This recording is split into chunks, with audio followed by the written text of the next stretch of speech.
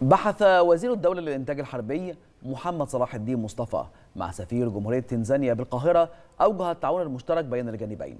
جاء ذلك خلال لقاء بمقر وزارة الإنتاج الحربي بالحي الحكومي بالعاصمة الإدارية الجديدة حيث قام وزير الدولة للإنتاج الحربي باستعراض الإمكانيات التصنيعية والتكنولوجية والفنية والبشرية لشركات ووحدات الإنتاج الحربي.